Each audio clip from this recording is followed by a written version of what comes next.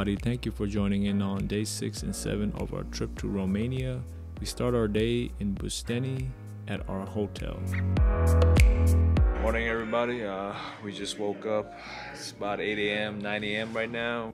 Gonna eat quickly and try to head to the cable car to get up to the mountain and see if we can get up there, see the Sphinx uh, rock formation, and then head down to the other side of the mountain to see the monastery that's tucked underneath the cave. Later on, we'll figure it out. Right now, breakfast, get some energy, and we'll see you then. So for breakfast, we got the typical American style breakfast, some eggs, ham, toast, uh, and a little bit of vegetable salad on the side, and some yogurt, and some orange. And it was pretty good.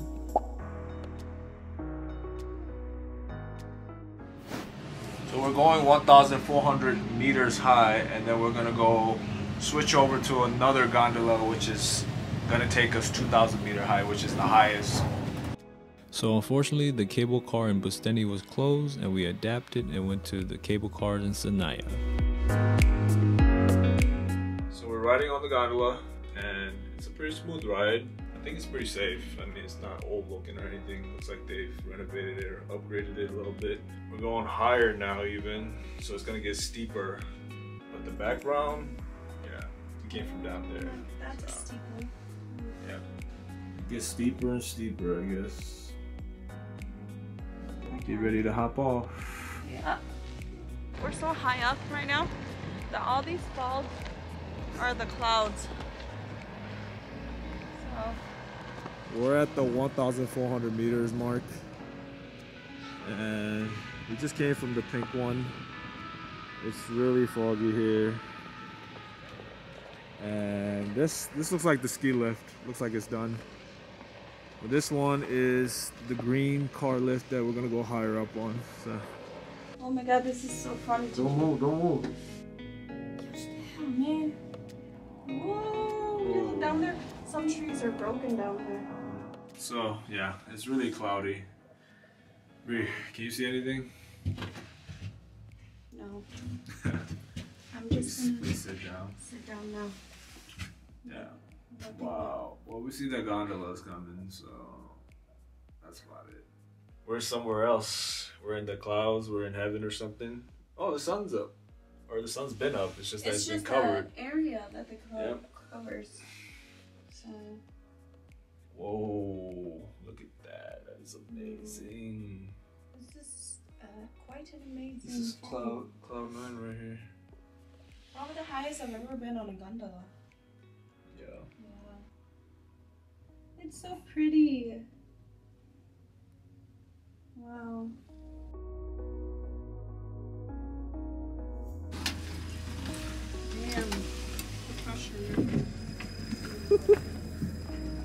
Oh fucking holy crap.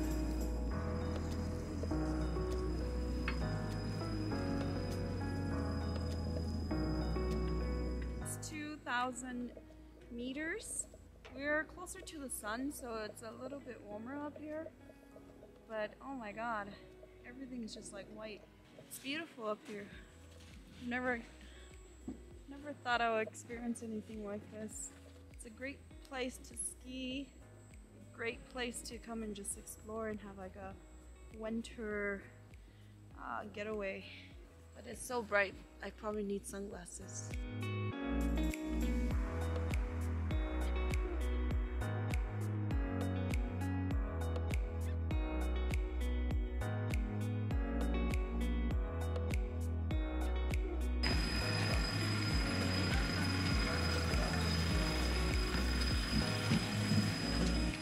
And we're going down. We're leaving. That was it. That was it. That was thirty dollars for both of us total. For coming all the way up here. Worth it or no? Oh, worth it. Yep.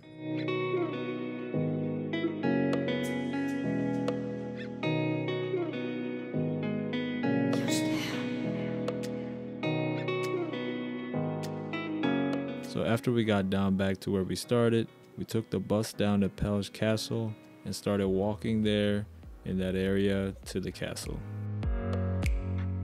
Castle Peles was the first royal residence built by Carol I, the first king of Romania, who together with his wife Queen Elizabeth left his mark on this sumptuous residence in Sinaia.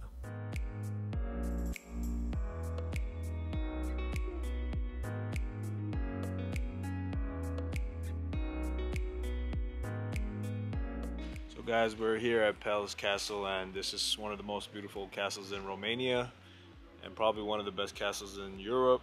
Definitely very pretty. Nice tucked in location right in Sinaia. Only takes like five minutes to 10 minute walk to get here from or where the entrance is. There's also a great view of the mountain right behind us. It looks like it's snowed pretty well last night and today. And it's created a nice little like whiteout scenery. So it wasn't just Sinaia that snowed, I mean Busteni, it was snowing last night all night, so yeah, so we'll take a tour inside pretty soon. To ensure the full success of his plans, King Carol I drew craftsmen from all over Europe. There were Italian masons, Romanian doing the earthwork, unskilled gypsy laborers, Albanians and Greeks working in the quarry, Germans and Hungarians working as carpenters, and Turks firing bricks. Then there were Polish craftsmen and Czech stonemasons, while the French did the drawing and the English the measurements.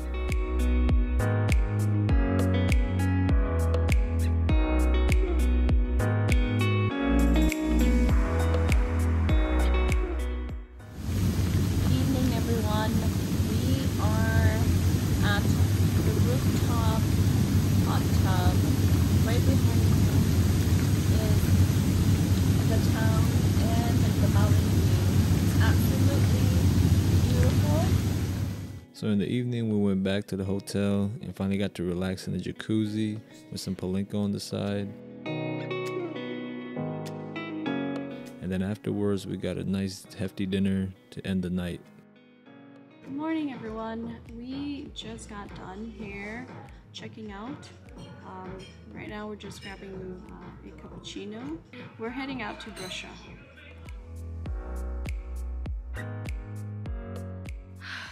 Finally get to see the mountain view a little bit. Um, looks like the sun is up and the fog is kind of going away. But there is a cross on top of the mountain. It's dedicated to the heroes, the freedom fighters of the country. Yep, there's a cross up there. Pretty amazing architect. Because when you get close up there, it's super huge. So after we checked out of our hotel, we wanted to try brunch somewhere on the way to the train station, and we saw a place called Ca La Mama. So we just took a look inside and we saw that there was a lot of options for foods, kind of like an entree style, and they range from like chicken, polenta, and everything like curry, all sorts of things, and it was just looked really good. Some chicken, some mashed potatoes, it's a little spicier beef um, kind of stew, like curry almost. Looks like there's some sort of black bean. Um, this is uh, vegetable rice. I love all of them. It's actually a really good place to come and eat before you catch your train because it's only like a minute or two away. It's right across the block. Highly recommend to come here if you are hungry before your trip. It's a sour chicken soup. Tomato taste to it. How's it taste? Mm-hmm. It's really good. Mm-hmm. So after a delicious brunch, we were on our way to brush We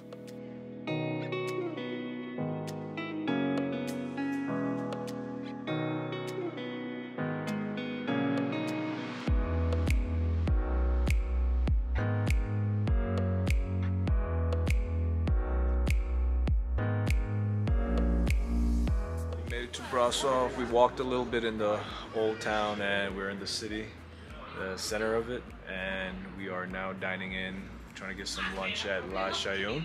It's supposed to be one of the best uh, traditional Romanian foods in Brasov. So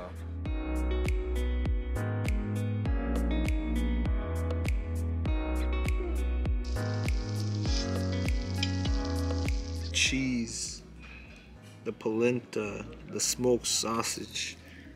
Look at this. The polenta's on the inside. Looks like there's a cheese covering, and then the sausage mixed in with it. blow on it real quick, just cool it down. Mmm. You love cheese, this is it. The cheese is very thick. Smoked sausage, seasoned well. Uh, the polenta, I never had it like this yet until now. Mmm. Look at that, the gooiness of that cheese. Just so good.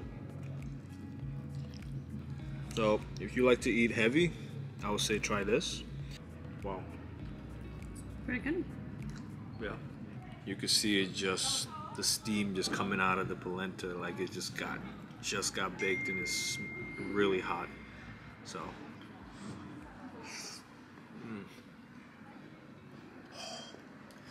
it's hot.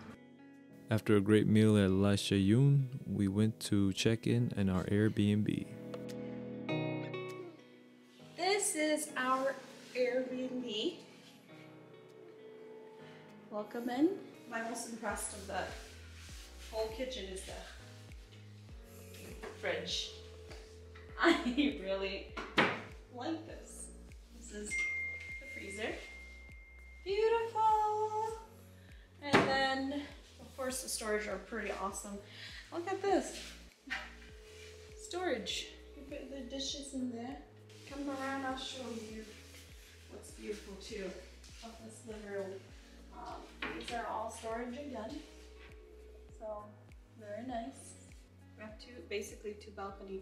One is here, and then the other one is in the room. I'll show you. Again, this is storage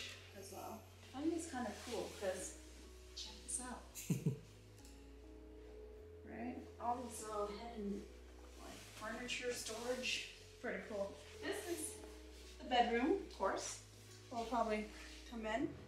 Let's start off with the beautiful closet. These are storage as well.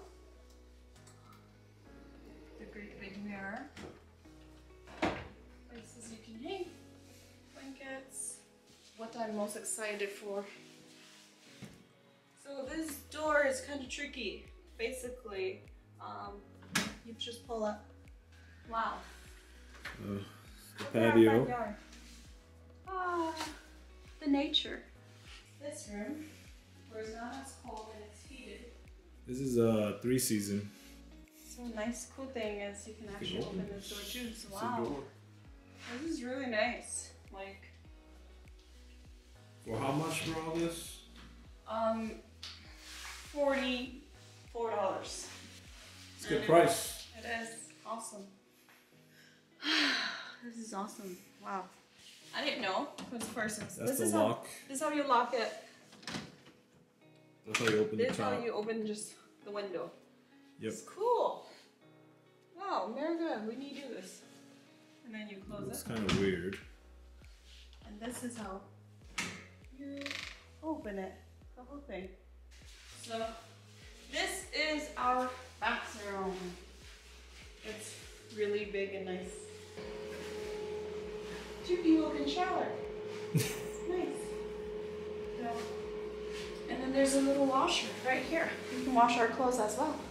In Romania, they said that they don't really use a dryer machine. Um, they just dry their clothes pretty much.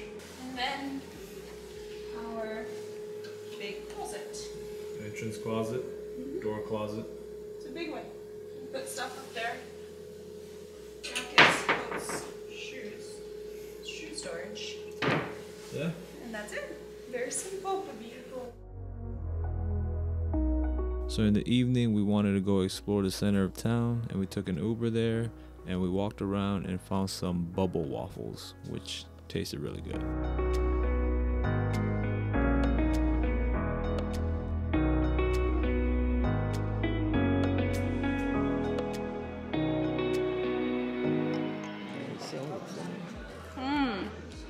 Waffle is so soft. But the whipped cream, the Nutella, and the banana makes it just a perfect hit. The Waffle is so soft. Mm, and warm. I'm fresh. Looks like she sprinkled some nuts on it too. done? This is really good. Hope you guys enjoyed day six and seven of Romania. We hope to see you soon. Don't forget to hit that like and subscribe button and see you on day 89.